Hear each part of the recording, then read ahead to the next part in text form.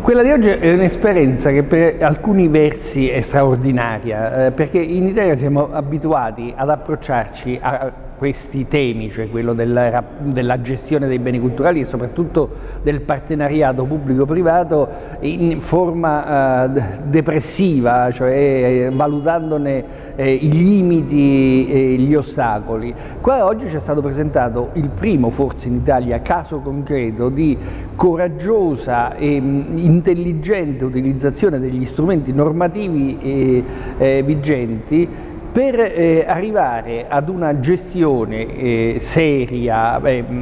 e produttiva di un bene eh, della città di Roma sconosciuto a tutti praticamente perché ancora non è mai stato aperto al pubblico, dalle caratteristiche eh, eccezionali e con procedure ormai arrivate eh, nella fase matura, si apriranno fra poco attraverso il bando que questi incontri ne negoziali eh, che misurerà anche la capacità degli operatori delle aziende di saper affrontare veramente con spirito d'impresa eh, una gestione di natura così rilevante.